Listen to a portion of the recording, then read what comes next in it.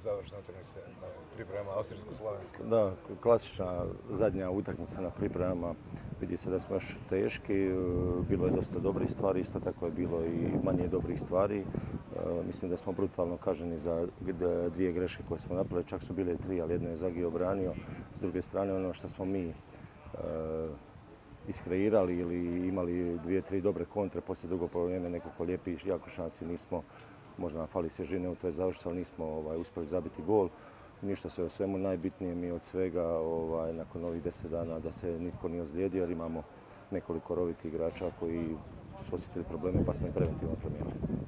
Dosta nervoze danas bilo na utakmici. Zato sam i rekao da je klasična utakmica.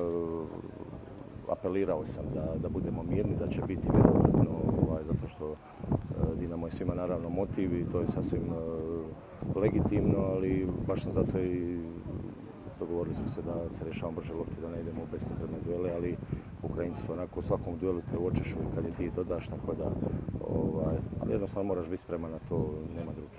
Dojam je da su ovi mladi opet pokazali više? Pa dobro, to je možda ultimativno davanje, želja za dokazivanjem, da se nametnu gladni, takvi moraju biti i drago mi radi nije da se svaki put dobro prezentira.